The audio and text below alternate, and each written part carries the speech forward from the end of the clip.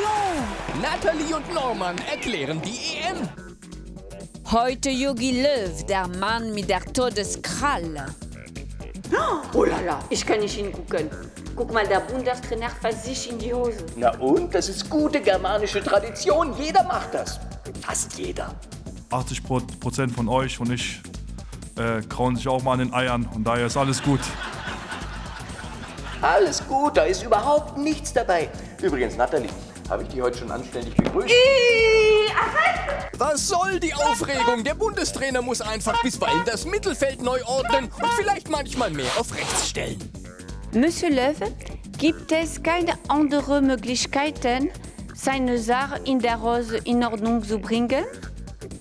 Andere Wege kenne ich nicht. Wichtig ist doch, dass eine Mannschaft eine Einheit bildet und jeder dem Vorbild des Trainers bedingungslos folgt.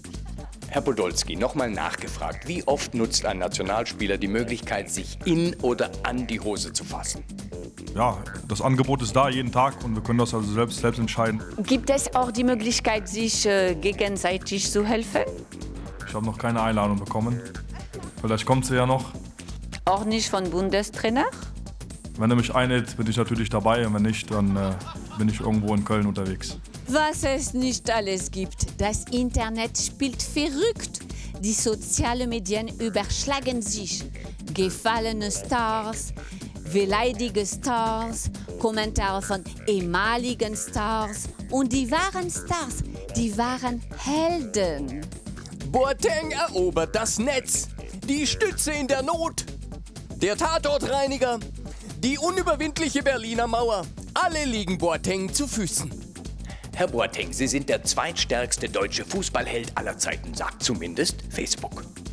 Ich weiß nicht, was es ist. Ähm, schön, dass ich Zweiter bin, aber.